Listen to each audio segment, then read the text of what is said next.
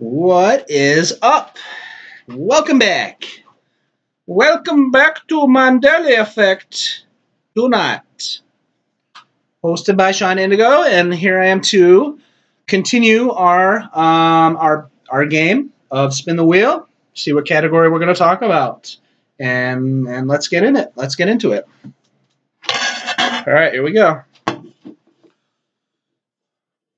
All right. Again, the eagle symbol, I'm not trying to uh, imply anything. It just happens to be hanging on my wall, and I happen to like the Eagles, or football team. All right, let's see. You can't really see it too all too well, but in the future, I'll uh, I'll, I'll make modifications. You know, this we're still early in the game, right? Okay, so we're gonna spin, and we got complementary memories again. All right. Now, when I say again, that was uh, what I had last uh, on this on the last uh, video. This will be part three of, of episode one. Okay, this is part three. Complementary memories. If you haven't watched the previous videos, I suggest you do because, um, to be honest with you, you, I take that back. You really don't need to because each video is self-contained. Of course, the, all the information is uh, presented in a, in a series, but it's you can go out of order. It uh, actually doesn't matter. But anyway, complementary memories. Things that um, a Mandela effect shift change for me, and a memory that's separate from the change. Let me rephrase that. It's a memory that I possess that verifies the change. A crystal clear, concrete memory that makes it much more credible that it's not just Oh, I think it was like that. No, I know it was like that. Complementary memory, something that makes you know. All right. Complementary memory. Bear with me for a second here. Okay. All right, this one's going to be pretty straightforward, pretty quick. Berenstain Bears. One of the most famous of all the changes. Okay. How do I know that it was an E and not an A? Besides the fact that Berenstein Bears with the E is like burned into my brain because I've seen it so many times, how do I know?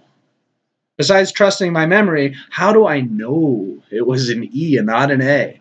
Well, I have a complementary memory. I clearly remember thinking to myself one day, hmm, I wonder why it's not pronounced Stein, the Berenstain Bears. I wonder if people do pronounce it Stein. Because I always hear it as Steen, but it could be Stein. Well, it's either Steen or Stein. All right. So if it was spelled Berenstain, in the reality, the timeline, whatever you want to call it, that I was that I existed in back then, if it was Stain, why in God's name would I freaking have that memory? Stein versus Steen. E I I E E I I E, Steenstein. There was no stain. There was no A. And I'm beating a dead horse with that one. You all know there was no stain. But I have that specific memory just to help back up for me. It was not stain. Okay. Spin it again.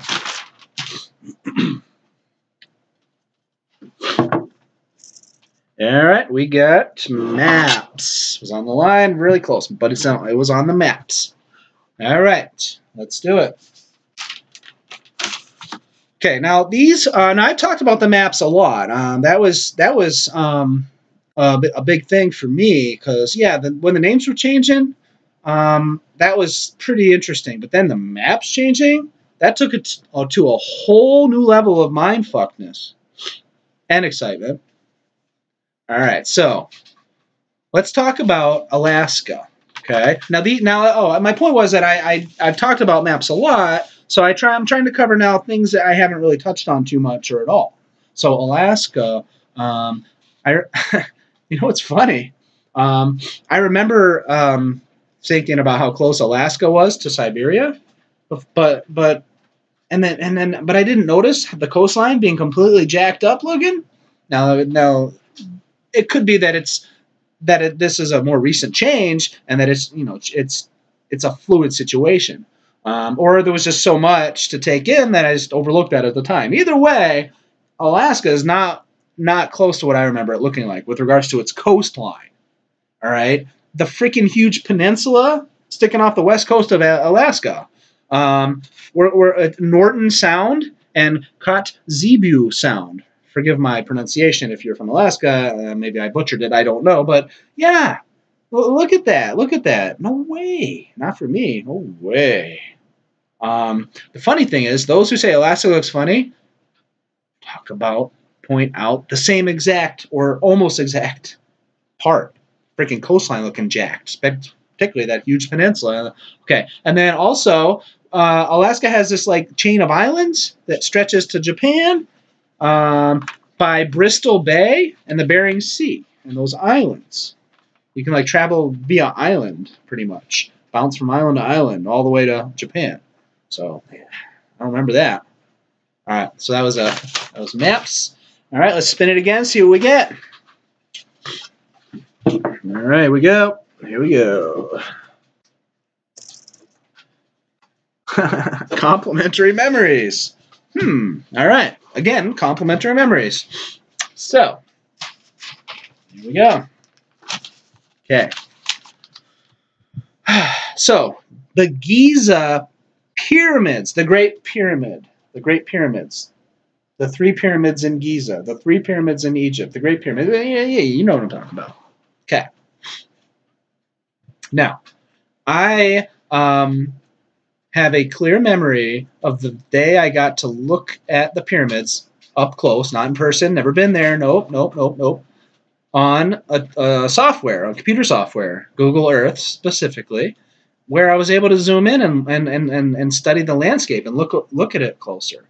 Now, that was that's a very real and, and vivid memory for me because of how excited I was because I've always been fascinated by the pyramids because I've always been fascinated by what, what what the earth was like before the great flood and the pyramids seem to have a strong connection either they were built before the great flood or those who lived before the great flood possessed the the know-how to, to sophistication to build these things after the fact. I, am pretty sure they were built before the flood, but well, that's for another day. Point is, uh, it was really awesome to like see it up close, and um, yeah. And okay, so that that was years ago, and then more recently, 2015. Mandela effect changes, map changes, everything's looking crazy. So I looked at the pyramids, and what did I see? Well, all of a sudden, the city is like right up practically touching the pyramids. Like the, the Great Pyramid and the city are almost touching. And I remember the pyramids, correlates in the Google Earth stuff, and, and overhead shots and books and stuff, but they were uh, more isolated. They were by the city, but there was like a couple football fields, a couple, at least several hundred yards. Maybe maybe like half a mile even like like it was distance. There was distance. Also i remember the pyramids being more more preserved more intact. These pyramids look pretty rough pretty worn down pretty crumbly a lot more crumbly than i ever ever recall i remember them being much much more uh, um, pristine looking secure not not damaged crumbled um, the, the, there, there's the two twins now. You get there's like giant pyramid, giant pyramid, and teeny pyramid. No, I remember giant pyramid, a little brother, a little bit smaller pyramid, but still really big, and then a medium. So went big, almost big, but and then and then medium. No, it's giant or big, big, tiny. So uh, no, uh, uh-uh. um, and then the capstone missing from the Great Pyramid never came across that in all the years I was studying the pyramids. Not not that I studied and and um, I try not to exaggerate, um, so that's why I'm backtracking on that. I studied uh, I studied about the pyramids a lot. I've always, like I said, I've always been interested in them, uh, particularly in how they're built, what makes them um, um not um, fit into how we understand technology and how things were built back then, and some basically how the how the Great Pyramid defies laws of physics and stuff. So always interested in them, and yeah, they've changed a lot, a lot for me. All right, we're gonna spin it again, see what we get. If we keep getting the same thing, uh, I might just change it. I might just pick one. You know, call it a uh, my prerogative, right? If you're a cook, you can change recipe. All right, quantum jumping. Quantum jumping. We are on the next category, quantum jumping. Bear with me, please. Okay.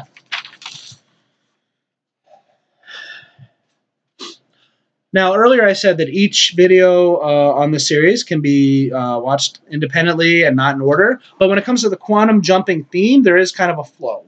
So just be mindful of that. Okay. Please remember,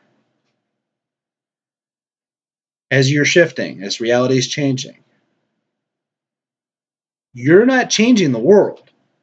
No, you're not changing the world. You're leaving one world for another. All right? Again, you don't change the world. You leave one version and go to another.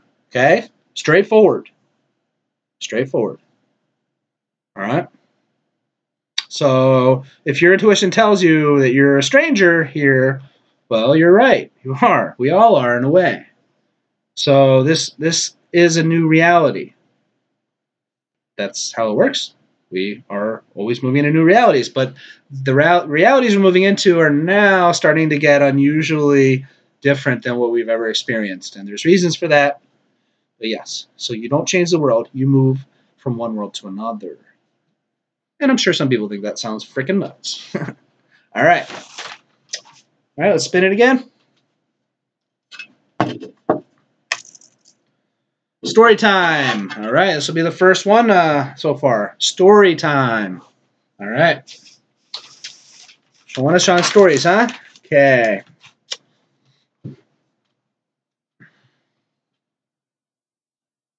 This is the only um, non Mandela effect um, example that I'm going to cover, I believe, um, during this time. But anyway,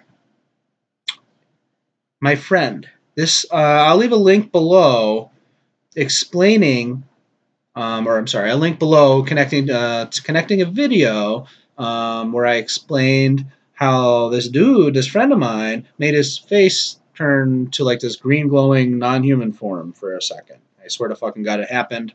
It happened. I saw it. No, I was not hallucinating. No, I was not dreaming.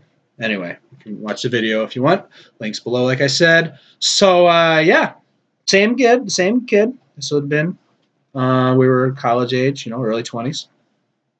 And, uh, yeah, we were uh, regularly practicing uh, uh, using the Ouija board and trying to you know, communicate with ghosts. We found that fun.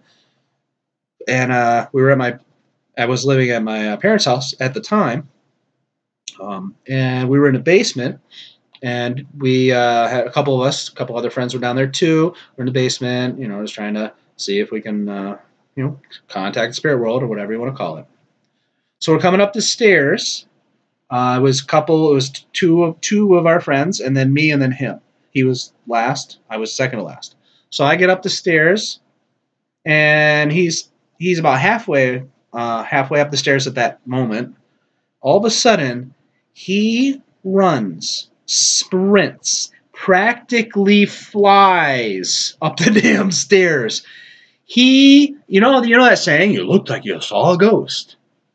Well, he looked like he just saw a ghost. He was freaked out, like worse than I can remember him being. He was so freaked out. He's, I, I, I mean, he's lucky he didn't pull a freaking leg muscle or two with the, the, the ferocity of his burst up the stairs.